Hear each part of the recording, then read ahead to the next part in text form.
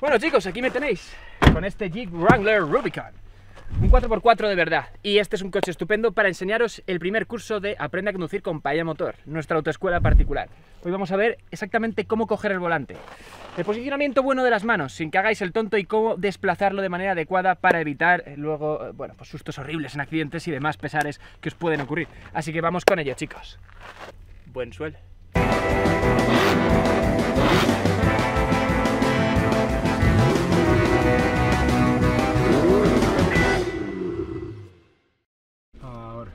Bueno chicos, pues aquí estamos, dentro del Jeep Wrangler Rubicon. Y bueno, ¿cuál es el posicionamiento correcto de las manos para conducir de manera segura y eficaz? Bueno, pues muy sencillo chicos. De 9 a 3, o de 3 a 9, como queráis verlo.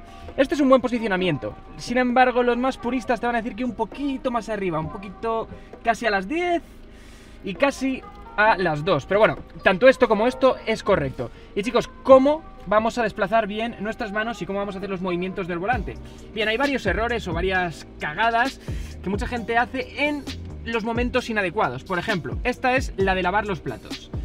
Esta maniobra de lavar los platos solo debería emplearse en una ocasión y es cuando estamos aparcando. ¿Por qué? Porque nos permite con una mano poder maniobrar y mirar por detrás. Sin embargo, los coches modernos hoy tienen cámara, así que tampoco puede hacer mucha falta y con esto ya podríais tener eh, digamos, eh, la maniobrabilidad que quieras sin ningún problema. Luego tenemos otra cosa, cruzar las manos. Esto es muy común y es un problema. ¿Por qué es un problema? Es verdad que nos da mucha rapidez al girar y que no es el peor de los métodos, pero esto tiene un problema. En caso de accidente, si chocamos y tenemos las manos cruzadas, aquí tenemos un airbag. Si la mano está cruzada, me como los dientes, me como eh, la nariz y mi preciosa face se convierte en un pastel que te cagas. No queremos que pase eso. ¿Cómo deberíamos girar? Esta maniobra que hemos dicho de cruzar las manos también funciona bien pues para calles muy cerradas, eh, a muy poca velocidad, 30 por hora en la ciudad, lo que sea. Bueno, si queréis hacerlo, podéis. Pero la manera natural de poder girar correctamente es la siguiente. Siempre tenéis que coger, por ejemplo, si quiero girar hacia la derecha, no vais a empezar el giro con la mano izquierda. Empezaríais con la mano, empezaríais con la mano a la que va a ir el giro. En este caso la derecha, pues la mano a la derecha aquí, ¿vale? Soltamos la mano izquierda, pero siempre dejándola rozando el volante, nunca soltando del todo y aquí recogemos con la izquierda para volver con la derecha y lo mismo. De esta manera lo que evitamos es nunca cruzar los brazos, ¿vale? Lo mismo para volver. Lo mismo para la izquierda, como podemos ver, nunca cruzamos, nunca cruzamos. Y esta sería la manera más eficaz de coger el volante.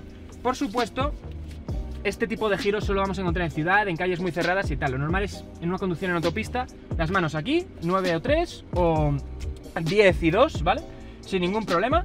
Y los giros, ¿vale? Nada de hacer estas macarradas de una mano. ¿Por qué tampoco conducir con una mano? Que es muy común, porque también salta el airbag, ¡pa! Y nos damos en la boca, ¡pa! Esto hay que evitarlo. recordemos que aquí hay un airbag y que en caso de accidente te va a saltar y si hay una mano en medio, te vas a comer la mano, vas a destrozártela, de verdad, o sea, es desagradable, es muy desagradable y tenéis que evitar ese tipo de cosas. Pero conducir con una mano entonces mal. Además, porque luego si tienes que maniobrar de, con emergencia, no, no puedes hacerlo y seguramente te des la leche. Mientras que si tienes las dos manos para poder reaccionar...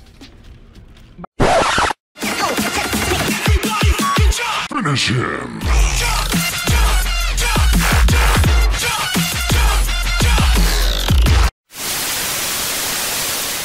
poder hacer otro tipo de cosas, ¿vale? O sea que... Y por cierto, chicos, nada de meter las manos por aquí debajo ni por aquí debajo en el volante, tanto arriba como abajo. Primero, esta parte del volante no existe, olvidarla, ¿vale? Esto no hagáis, no hagáis la macarrada esta de ir por aquí o la conducción tipo abuela.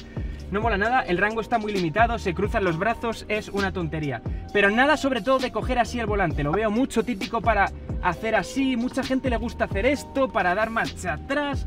En fin, unas maniobras muy raras que hace la gente. ¿Qué pasa con esto? ¿Sabéis qué pasa? Que si de repente tenemos un accidente y queremos girar y se nos cruza un coche y queremos girar a la izquierda del todo, por ejemplo, y nos da de, lado, ¿qué va a pasar? Que cuando nos da de lado, va el coche a desplazarse y la dirección se va a desplazar porque las ruedas se van a mover. Y cuando se muevan las ruedas a alta velocidad tras un choque y tenéis la mano así, fijaos lo que pasa. ¿Habéis visto?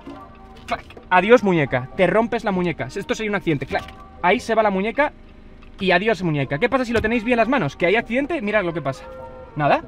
No ha pasado nada, la muñeca va bien, va bien. Y este sería vuestro rango de giro máximo, ¿vale? Esto. Cuando ya empezáis a cruzar las manos aquí, aquí, mala señal. Pero esto es la buena posicionamiento al volante. Este es el máximo rango de giro que deberíais tener en autopista o en carretera.